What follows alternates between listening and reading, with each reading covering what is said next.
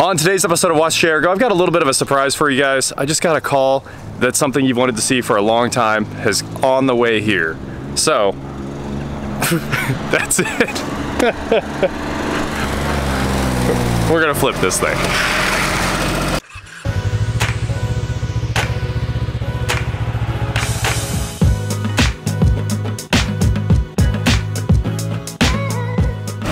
Did you just drift to a stop? Sounded like a full drift. what is going on, guys? I am WatchJRGo, and I'm here with Tyler, who just picked this thing up. I saw it on Facebook yesterday for 300 bucks, and it said it had a bad water pump, and I was like, hmm, I don't know. And he was like, oh, yes, you do. This is happening. Oh, yes, So, you do. Thanks for picking that up for me. There's the, the three hundo, and uh, let's let's investigate this car. Got the title from the guy. Uh-huh. Wow, uh, it was- looked rough in the pictures, but it is rough, isn't it? A little dirty. So, no factory AC, no passenger mirror, no door handles. What is, what's this? So it doesn't smell. That's good. Um, tires are okay. it does smell a little like old Yeah. flip car. There's a, there's a certain smell for flip cars, and this does Oh, have it smells it. like a flip car. Yeah, what are these tires? Uh, 13, I think? 155, 80, 12. 12. Got some 12s. They look like donuts. Ruler tires. They are donuts. oh, I love it. Uh, drum brakes in the back, disc brakes in the front. Somehow. At least parts should be cheap. Yeah. Honestly, I think it's one of everyone's life goals to own all the Geos. I had a tracker. Here's a Metro, a Metro XFi. I didn't. That wasn't in the ad. I'm not even sure what the XFi is. I don't know. Just just for you, the uh, the trunk struts are Oh, blown. drop it. No worries. The, yes. Uh, it's got defrost, which is uh, pretty crazy. I mean, that's kind of an option. That's in- probably a check mark. Multifunction switch is dead. okay. Uh, so they rigged it up with uh, toggle switches Did they tell you all this, or did you just He discover showed it? me. Okay.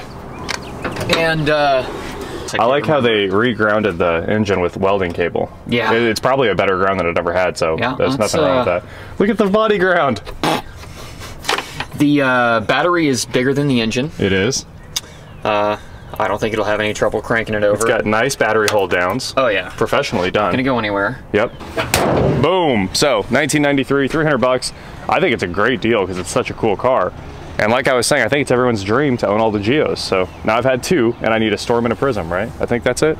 Ooh, I think they made a turbo uh, prism. A Turbo Storm. Turbo Storm, that's what it was. Yeah, Yeah. the Turbo Storm is like a grail car because they're rare and worth a lot of money now. Yeah. Well, But, uh, this is not worth a lot of money. We could probably pick this thing. I think we could. Should we try it?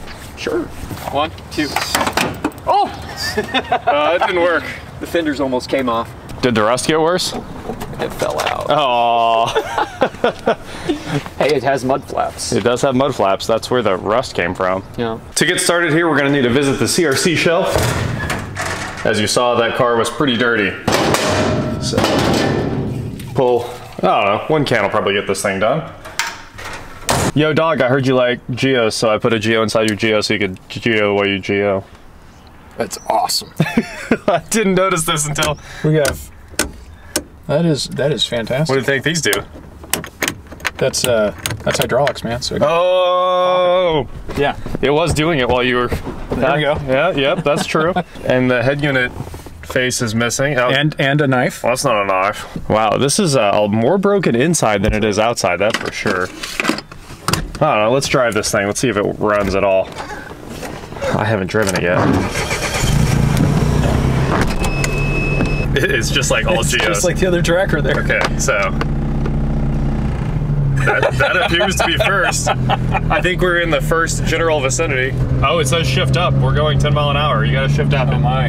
The shift's Where's, gotta- where's our shift light? Right there, under the speedo, has that green light that says shift up. That's not that bad. You can drive this. All right, off to the car wash. Let's see. How's the steering on this bad boy? Oh, responsive. Nice. Rear defrost lights up. Rear defrost is the main positive to this car. I mean, it has it. That's one. And two, it seems like it works. The light came on. That's handy. Yeah, okay, so we're gonna keep it in second and hope. Here's an exhaust leak. Tick, tick, tick, tick, tick, tick, tick.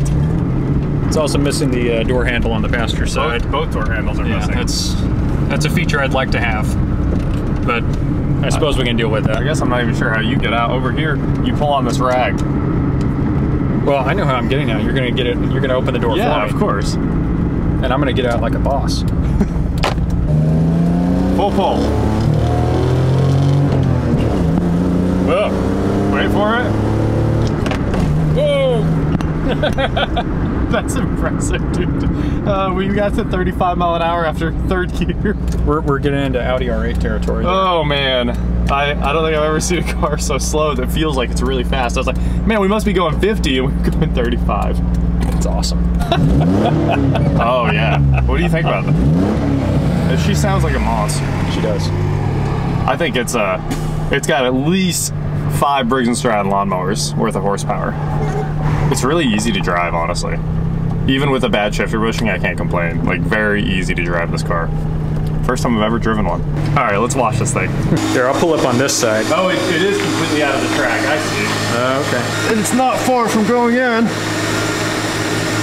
So yeah, now, we made shake and bake, and I helped. there you go. We fixed it. All right, don't roll the windows down. New rule. Nice. All right, we got a little heat in this engine, so it should be fast acting. Oh, look at that. The dirt's just falling off.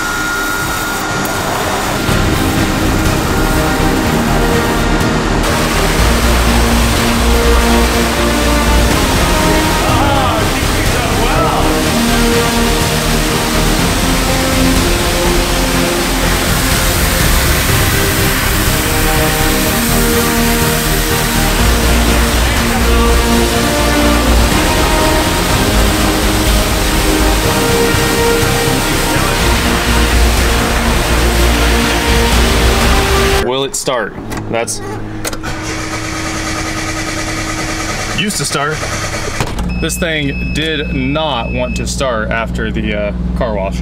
We got it going, uh, cleaned all the water out of the plug wires and plug uh, wells and everything. Started back up.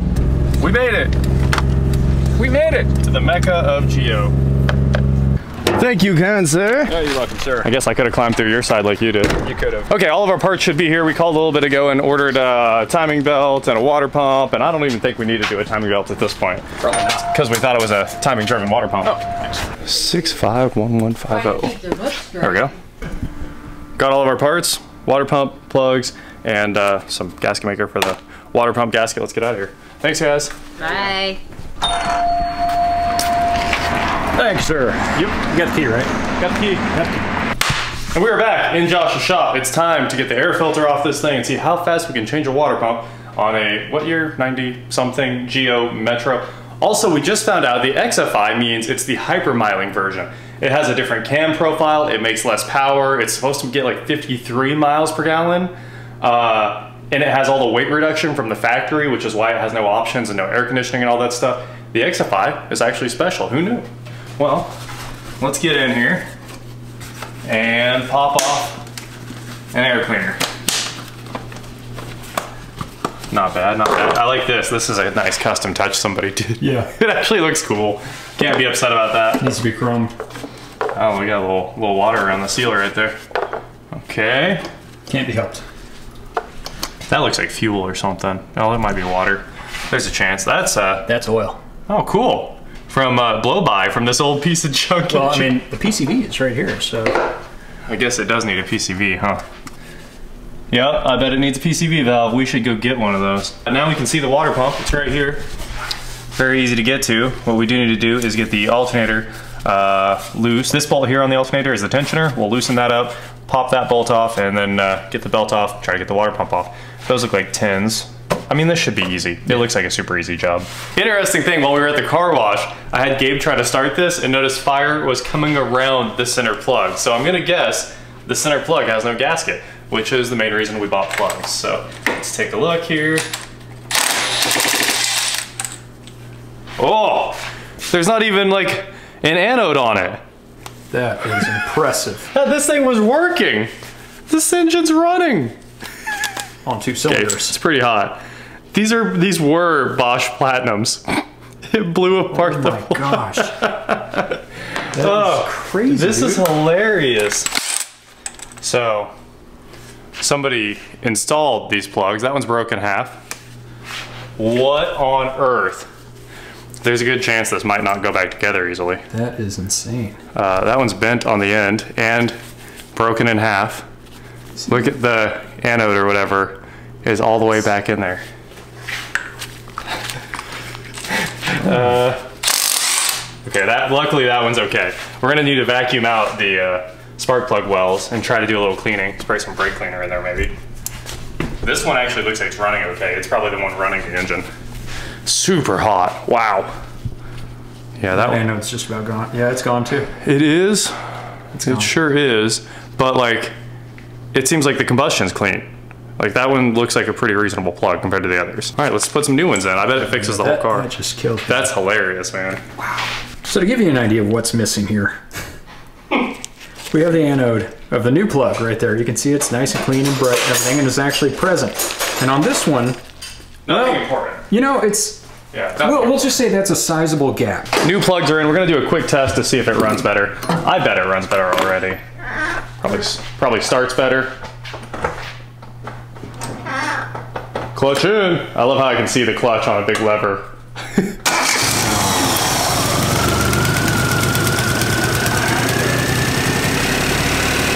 oh, it seems cleaner already. I like it. I don't understand. It was tuned up in 96. Josh just showed up and he was like, uh, all right. Got you the sauce. We're gonna pull that valve cover and do the valve cover gasket. Guess how much? $200. $300, but you were close. I didn't want to go over. Price is right rule. That's true, that is true. One dollar. Otherwise you don't win the car. And when we're done, we're just gonna leave it in your shop and walk away. That's awesome. What'd you find? Ta-da! Is it, uh, Or a PCV, yeah. for- Oh, it's foaming? What is going on? That's cool. I'll get a PCV valve. The cam itself, like there's no lobe wear. Isn't that weird? It does look good. It's so cool. Huh. Plus this thing's cute. I mean, if you need a first engine to work on, go buy one of these cars. Oh, Uh, yeah. It's like the easiest thing in the world. Uh, now, uh, that screw is completely stripped out, holding down the PCV valve. I'm going to have to get vice grips on there and break it loose. Gabe started pulling the water pump and he's almost done there. One more bolt. Yep. Looking pretty good. So I was like, look at all this trash. The grounds to the body and the actual supply wire to the chassis. It was just all hideous. So I cut out all the trash, cleaned it all up, cleaned up all the cable in there, and now this needs to move down to the transmission where it's effective. Uh, there was smoke coming out of it while I was cranking because they gr- literally grounded the distributor to the battery. Let's move that down to the transmission. That bolt right there looks like a great place for a engine ground. And probably start better after that too. Nice. Water pump removed. Oh, it looks like the gasket may have been toast, huh? Little little issues in there. How's shaft play? None. Ah, It's perfect. who knows, man? We'll do a pump, and then we're gonna find out it's the coolant crossover tube instead of the pump.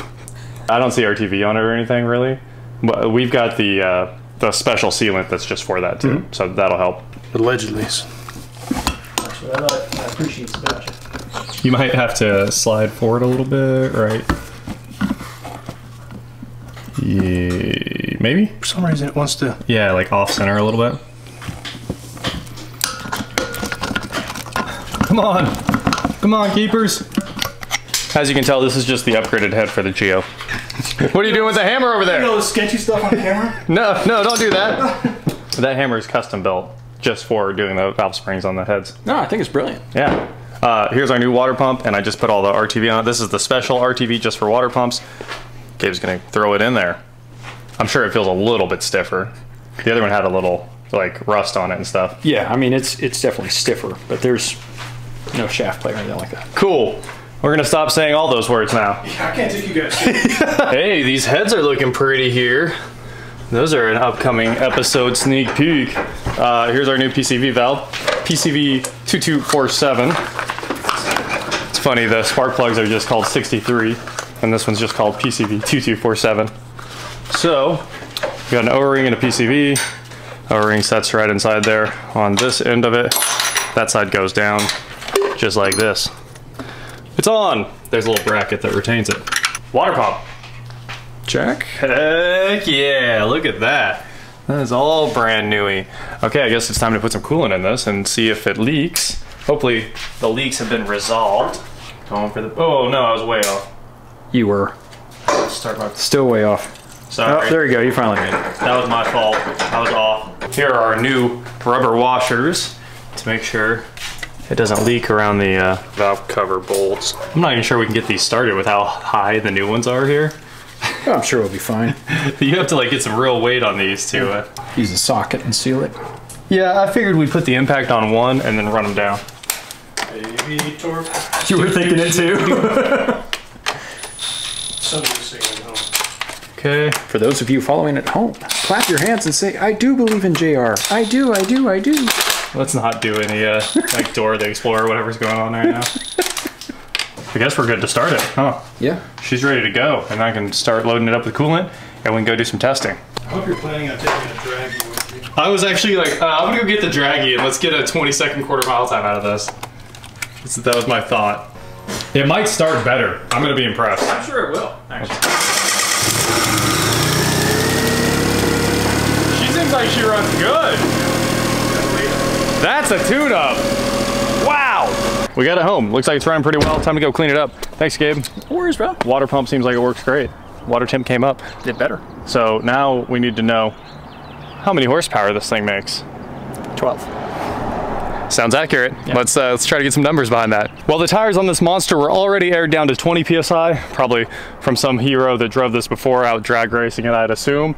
So I, I went ahead and aired them back up to 35. Probably not ideal for performance, but we've got the Dragy. Let's go get some zero to 60 times on this bad boy. Maybe even a quarter mile. I bet a quarter mile in this takes a half mile. She's not exactly what I would call polite out on the highway. It's uh, shaking around pretty bad here.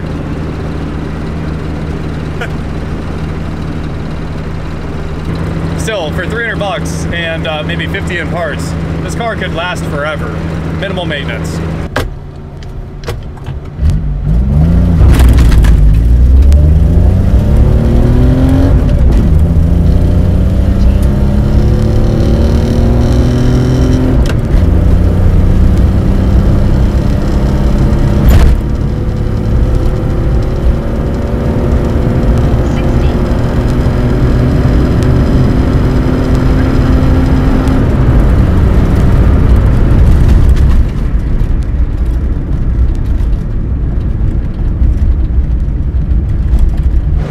these times were all good. They all verified. 0 to 30, 5 seconds. 0 to 60, 17 seconds. And what's hilarious is only 3 seconds later we're through the quarter mile. Quarter mile was 20.56 seconds at 65.06 miles an hour. this car is hilarious. Those were full throttle pulls and shifting it like a boss. There's no tach, so you're just kind of guessing when it's about to wrap out. Uh, I kind of felt the rev limiter out earlier on the first like test, and I mean, I, I knew where the rev limiter was, and I missed it by that much each time. I think it was it was like a perfect run. So I'm pretty happy with those numbers because it's funny. Maybe if we go back out tonight and pull the air filter and make another quarter mile pass, we might be able to drop a second off that time. Uh, who knows? I mean, obviously it's not fast, but there might be a little bit more in it. I mean, this could be a 19 second car. Think about it, guys. That's that's blazing. Oh yeah, the little Geo that could. This was a blast.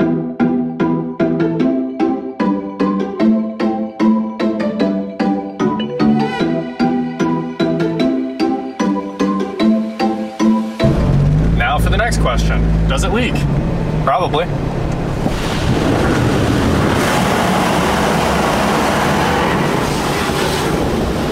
I did all the glass before I left the house, and that's why it's beating up really well. Uh, it's all been rain-exed and cleaned inside and out. The headlight switches in here are amazing too. Check them out. Headlights on, high beams on. Oh, it leaks. It leaks a lot. Well, that is not a bad looking little fuel efficient car, and it's kind of fun to drive too. So, that is it for today, guys. Doing the old school throwback with a little one day flip action. Uh, that car's turned around and ready to leave. Uh, Tyler hit me up earlier and was like, do you want that car? And I was like, mm, no. So he wants, a, he wants to come buy it now. I was like, all right. So I guess that's probably gonna become his. If not, I'll list it up for sale and it should sell super fast. So that is it for today, guys. Thank you so much for watching. Don't forget to head on over to shopwatchjrgo.com where you can get cool shirts like this. And please like, share, subscribe, do whatever you wanna do, and I'll talk to you next time. I actually really enjoy driving this thing. It could use some shifter bushings and some interior cleaning. I'll, I'll probably do the interior right now. I don't know when to stop. I also found out it's just the door adjustment. If I pull on them while the car wash is running, there's no leaks at all. So I was sitting there holding them together like this, like I was the Hulk holding two buildings together. Uh, yeah, a little bit of adjustment and those should seal right up.